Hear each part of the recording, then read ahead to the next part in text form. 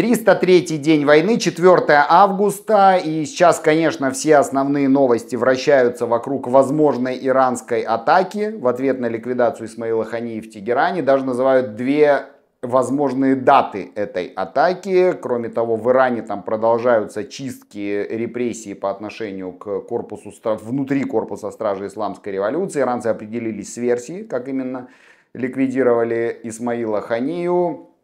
Различные западные страны призывают немедленно граждан своих эвакуироваться из Бейрута. В Израиле произошел теракт, ножевой теракт в городе Холон, это самый центр страны. Двое погибших, террорист убит. И внутри Хамаса созрело понимание, что э, нападение 7 октября на Израиль было ошибкой. Вот тут вдруг неожиданно они пришли к такому выводу после целой серии ликвидаций их крупных функционеров. Всем привет, меня зовут Сергей Услендер, вы на моем канале. Поддержите, пожалуйста, это видео, всегда об этом прошу, это очень помогает. Лайкайте обязательно, подписывайтесь на канал, если еще не подписаны, оставляйте комментарии, включайте уведомления. Можно помочь каналу финансово, это тоже важно и нужно. Кнопочка супер спасибо, супер thanks или сердечко с долларом. Две платформы Boosty и Patreon, ссылки на них находятся в описании. И можно стать спонсором канала на YouTube. Все это очень помогает и огромное спасибо всем, кто это делает.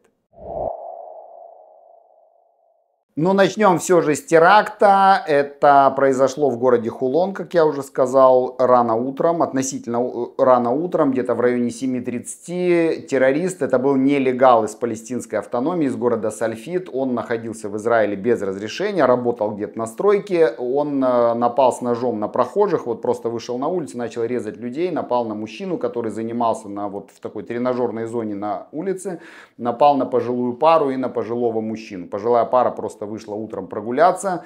В итоге погибли двое человек. Это вот женщина 66-летняя из этой пожилой пары и 80-летний мужчина. Э, парень вот 26-летний и муж погибшей женщины получили ранения, они в больнице, их жизнь вне опасности. Террорист был ликвидирован, застрелен одним из полицейских, который там оказался вот рядом с этим местом. Чуть позже был задержан предполагаемый сообщник этого террориста. Проблема с палестинскими нелегалами продолжает оставаться очень такой острой, серьезной.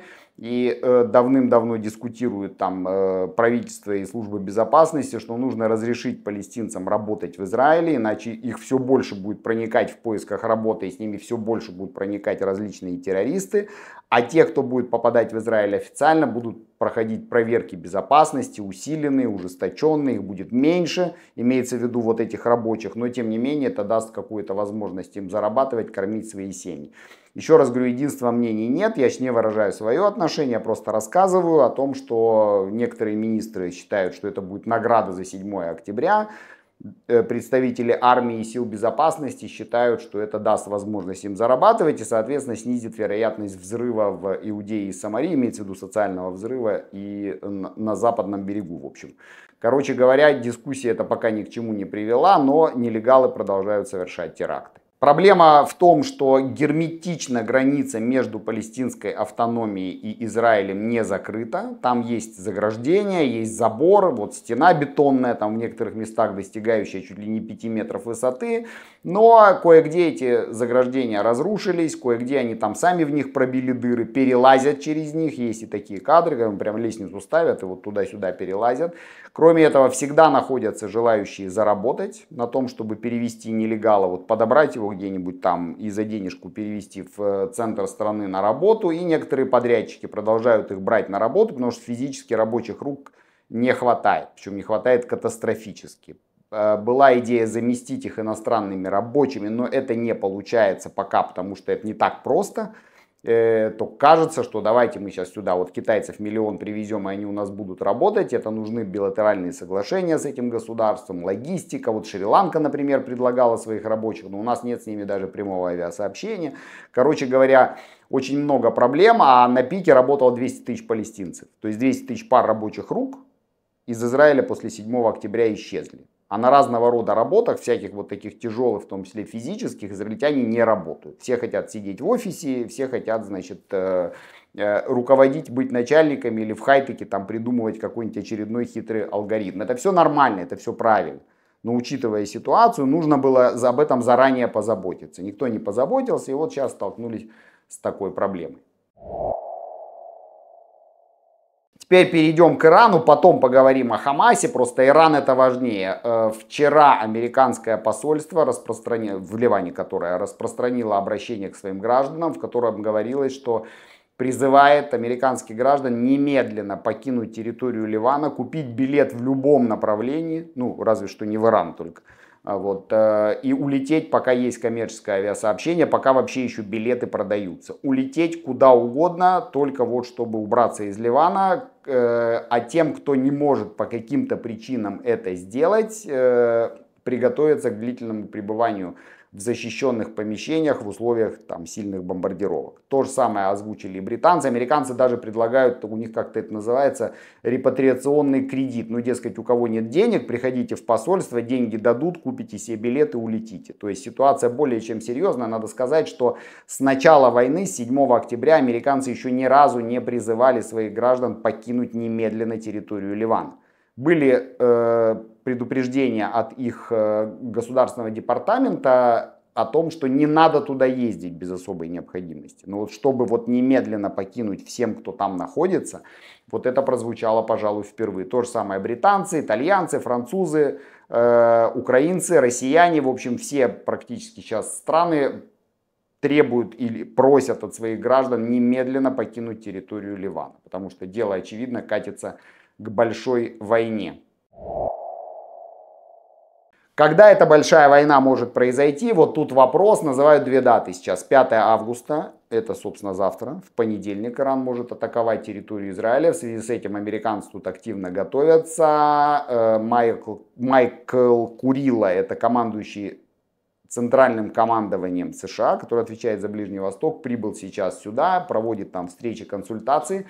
В Восточное Средиземноморье стянута очень внушительная группировка американского флота. Туда сейчас на всех парах идет авианосная ударная группа во главе с авианосцем Авраам Линкольн. С э, южной стороны Аравийского полуострова находится авианосная ударная группа Теодора Рузвельта. На базы центрального командования на Ближнем Востоке переброшены в том числе стратегические бомбардировщики. Вот это важный момент не только истребители, которые будут отражать ракетный удар Ирана в случае чего, или Хизбаллы, а именно бомбардировщики, которые могут поучаствовать, соответственно, и в ответном ударе. Но пока не будем, опять же, загадывать, трудно сказать. Вторую дату называют это 12 августа. На 12 августа выпадает день 9 ава. Это такой вот... Э, всееврейский день траура, потому что в этот день по еврейскому календарю 9 ава были разрушены первый и второй Иерусалимский храм. Это такой очень важный, очень трагический, символичный день в истории еврейского народа. А учитывая склонность иранцев к символизму, опять же, война-то у нас идет с ними не просто так, а война религиозная, война смыслов, да, война цивилизаций. Вот, они вполне могут выбрать и этот день тоже. Опять же, поговорим, последим, будем э, смотреть за ситуацией. Если это не будет завтра, то будем уже как бы думать, что все-таки это будет 12 августа. Что касается истории с ликвидацией Исмаила Хани, э, то в Иране определились, расследование ведет Корпус Стражи Исламской революции, у них, видимо, есть внутри некое подразделение такое, расследовательское. Они определились с версией, он погиб в результате прилета ракеты, небольшой ракеты, 7 килограммов боеголовка в окно вот его, собственно, номера, его спальни. Я на Google Map нашел это здание в Тегеране. Это не так сложно на самом деле. Осинт аналитика базируется, как известно, на открытых источниках. Вот сейчас вы его видите у себя на экране, обведено красным кружком, а стрелкой указан тот угол, куда попала ракета. Вот если мы сделаем зум-аут, то есть увеличим карту, то вы увидите, что это прям северная окраина Тегерана. То есть это здание буквально одно из последних вот в ряду зданий. Дальше начинаются какие-то пустыри, рощи, горы, поля, леса, сады, там непонятно что. Вот оттуда теоретически можно запустить такую ракету. Вопрос, что это была за ракета. Предположить, что это был РПГ с его прицельной дальностью там, ну 300, ну 400 метров максимум, как-то сложно, это нужно очень близко подобраться к зданию. Э, возможно, там называли, среди прочего, э, противотанковую ракету Спайк израильскую, которая имеет высокоточное наведение, которую вот реально можно положить в окно прямо, у нее как раз боеголовка примерно соответствует по э, тому, что говорят иранцы, но вопрос, как, как, что это была за ракета. Или это была ракета Spike SR, short range, короткого радиуса действия, или Spike MR, medium range, то есть среднего радиуса действия. У них плюс-минус сопоставимая дальность, около двух километров, э, высокоточная система наведения, здесь даже принцип выстрелил, забыл, реализован. То есть теоретически, если точно знать, в какое окно нужно стрелять, можно использовать спайк. Вопрос, как он попал в Иран. Раз. Э, нужно кто-то, кто умеет им пользоваться. Два. Это не кофеварка и не скороварка. Это более серьезное оружие, да, э, более серьезное изделие, которым нужно уметь пользоваться. Значит, кто-то, кто умел или проходил где-то обучение и э, умеет применять такое оружие. Кроме этого, нужно ж точно знать, где он находится, этот самый Хани. То есть, в принципе, версия с кротом внутри корпуса Стражи Исламской революции вполне возможно э, имеет место. В Иране сейчас чистки, репрессии, аресты там повальные. Был арестован э, глава особой полиции КСИР. Это вот подразделение, которое отвечало в частности за охрану первых лиц. Вот он арестован, и ему вменяется в вину шпионаж в пользу там чего-то враждебного государства. Ну, кто у них враждебное государство, тут особо гадать не будем. То есть ощущение такое, что иранцы широким бреднем метут всех подряд в надежде зацепить кого-то, кто реально имеет отношение. Ну, понятно, что допрашивать они умеют, я уж не знаю, там, как эти допросы происходят. Пытки это бессмысленная, кстати, история, потому что под пытками человека говорит себя и признается в чем угодно. Вон красные маршалы и командиры оговаривали себя на допросах в НКВД, признаваясь в шпионаже там на 10 стран, э, потому что к ним применялись такие вот меры допросов и так далее. Не суть. Суть заключается в том, что иранцы до сих пор не понимают, как такое вообще стало возможным. Да, еще раз, самый охраняемый объект очень э, плотная охрана, видеонаблюдение, в том числе внутри э, э, здания. Вроде как есть кадры, вот сейчас пишут некоторые и э, западные, и арабские медиа, что все-таки это были бомбы, которые занесли в номера агенты Масада, э, завербованные иранцы, э, иранцы, завербованные Масадом, зашли в несколько номеров, там оставили эти бомбы, и вроде как на кадрах видеонаблюдения они есть, но агенты, которые исполняли вот эту вот миссию, они должны были понимать, что там есть э, видеонаблюдение. Вот, якобы они покинули территорию Ирана. Короче говоря, по-прежнему вопросов больше, чем ответов. Понятно, что Масад не будет рассказывать о технологиях своих операций. Лет так через 50 рассекретят данные какой-нибудь операции, которая называлась там как-нибудь хитро, типа там длинная рука или что-нибудь в этом роде. И вот тогда мы, собственно, узнаем о том, как это все происходило. Э, иранцы, еще раз говорю, отрабатывают пока версию с ракетой. Что кто-то вот выстрелил ему в окно ракеты. Посмотрим, опять же, э, к какому выводу они придут. Но э, они продолжают угрожать Израилю, они продолжают плодить там вот эти невероятные угрозы о вратах ада, что это будет не так, как в прошлый раз, там 5-10, но очевидно, что они пытаются выбрать какой-то вариант, как бы вот так вот отомстить, показать всем, какие мы мощные крутые, но при этом не нарваться на такой прям чувствительный ответный удар. Надо сказать, что Иран в его нынешней конфигурации, вот исламистской, после исламской революции, воевал-то только один раз на поле боя. Это была Ирано-Иракская война, в которой иранцы не добились никаких впечатляющих успехов. Война там очень быстро от маневренной перешла к позиционной. 8 лет они бодались, а линия фронта вот как проходила на начало этой войны, так примерно там и осталось. Иранцы тогда понесли тяжелые потери и, в общем, не, не, не проявили себя там, прямо скажем. Э, каким-то образом. Но понятно, что между Израилем и Ираном прямого столкновения быть не может в силу фактора географии. Но вот столкновение технологий, у них ракеты, у нас самолеты, высокоточное оружие и так далее, оно как раз может случиться. И не факт, что Ирану там как бы э, будет очень приятно от такого столкновения. Кроме этого есть фактор американцев. А вдруг Байден решил войти в историю Ему все равно уже в ноябре-то уходить, да, ну не в ноябре, а когда там в январе инаугурация, ну грубо, э, ему осталось там максимум полгода власти, а он может попытаться войти в историю как человек, который решил проблему ядерного Ирана. Кто его знает. Поэтому это такой момент довольно сложный. И еще один важный момент, как правило, Иран в рамках вот этой вот гибридной, скрытой тайной войны между ним и Израилем, действовал силами своих прокси, каких-то тайных операций и так далее. Теоретически можно организовать удар, скажем, из Сирии, Ирака и, допустим, Ливана по территории Израиля в отместку за ликвидацию Хани, но это будет вообще не по понятиям. Хани это был убит в Тегеране, когда у них, так сказать, гостил, когда они отвечали за его безопасность. И доверять эту разборку своим прокси как-то получается уж совсем не престижно. По этому поводу очень много, кстати, в арабской прессе пишут, что сейчас они вот подставят опять арабов под удар. Это вполне как бы в персидской философии, да, э, руками арабов делать там какие-то свои дела.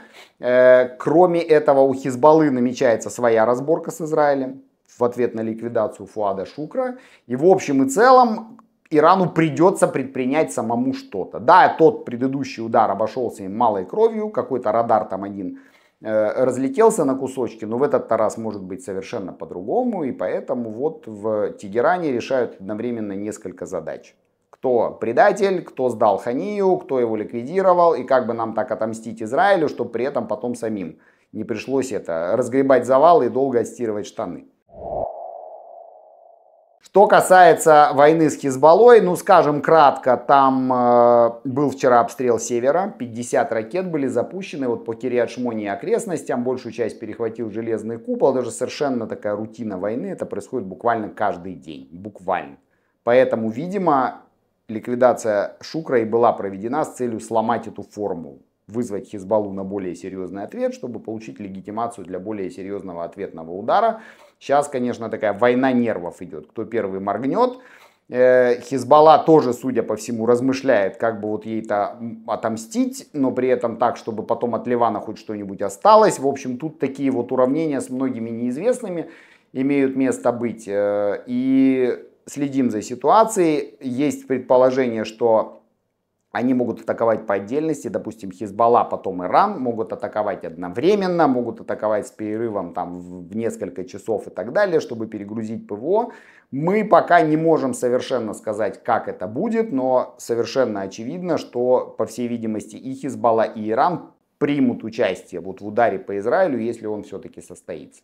Вопрос стоит и перед Иерусалимом, кстати, как бы нам так сделать Аиталам побольнее, да, но при этом тоже не устроить тут огромную там региональную страшную войну и так далее. Вот тут я наткнулся на любопытный материал, написал его Василий Говорухин, я не знаю, мы с ним не знакомы, но пишет вещи чрезвычайно разумные. Так вот, он сделал такой своего рода анализ о том, как можно Тегерану сделать очень больно, причем буквально вот за считанные часы, причинить ему колоссальный совершенно ущерб. Так вот, он нашел три объекта, потеря которых станет для Ирана просто катастрофой, буквально экономическим ударом совершенно жутким. А потеря всех трех одновременно, она просто вышибет Иран из статуса региональной сверхдержавы и сильно снизит его возможности по нанесению ущерба вообще вот всем окружающим. Самое главное, по выращиванию вот этих прокси-группировок, потому что они все э, финансируются Ираном напрямую. Итак, остров Харк, э, он э, находится в Персидском заливе, и там расположен крупнейший нефтяной терминал Ирана, через который проходит 90% экспорта нефти Исламской Республики. 90%. Это 60 миллиардов долларов. Весь экспорт, точнее, в целом, это 60 миллиардов долларов в год, а 80% экспорта это нефть. Еще раз, 90% нефти проходит через Харк, то есть почти вся. 80% всего иранского экспорта это нефть, и это 60 миллиардов долларов. Соответственно, если этот терминал снести, то Иран потеряет десятки миллиардов долларов. Конечно, они там постараются найти ему какую-то замену, построить альтернативу, но это быстро не происходит. Такие объекты за три дня не построишь.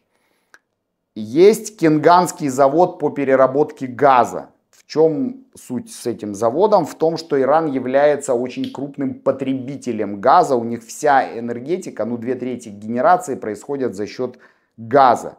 И если при этом один только завод по переработке газа существует в стране, один. Вот если его снести, то Иран останется просто без электричества, без света. В принципе, э, и это будут большие проблемы, соответственно, в том числе и такого стратегического характера. И есть такой порт, называется Шахид Раджаи, это город Бендера Бас. Э, вот на карте все видны эти объекты. Это единственный иранский глубоководный порт с доступом в Персидский залив, соответственно, в Мировой океан. 40%, почти половина иранского импорта и столько же примерно экспорта проходит через этот порт. Если его там повредить, как было с портом Хадейда, например, то это будут очень серьезные перебои с поставками различного рода промышленных товаров в Иран и с вывозом иранской нефти оттуда и соответствующими последствиями. Там есть и другие, конечно, уязвимые места, как пишет Василий Говорухин, но в целом э, он вот э, объекты определил довольно правильно. То есть снести эти три объекта, нет генерации электричества, нет экспорта нефти и нет импорта промышленных товаров. Причем израильские возможности позволяют сделать это ну, буквально за один день. Вот буквально. В свое время, когда Иран с Ираком воевали, Ирак тоже с помощью там, стратегических бомбардировщиков, полученных еще от Советского Союза, там использовали в частности Ту-16 и Ту-22, обстреливал ракетами иранские нефтепромыслы, но так без особого успеха. Это все-таки были 80-е годы, тогда другие были ракеты, другие возможности. Сейчас возможности Израиля совершенно несопоставимы с теми, соответственно, в лучшую сторону. И вот можно Ирану сделать чрезвычайно больно, но какой способ ответа на иранский ответ выберет Иерусалим, тут пока сложно сказать. Короче говоря, ситуация находится в развитии, ситуация очень динамичная, она продолжает развиваться. И мы за ней следим, в случае необходимости немедленно записываем очередное видео и выкладываем его на канал. Поэтому включите уведомления обязательно, чтобы не пропустить новые видео. Спасибо, что смотрите. Продолжаем, увидимся в ближайшее время. Всем пока.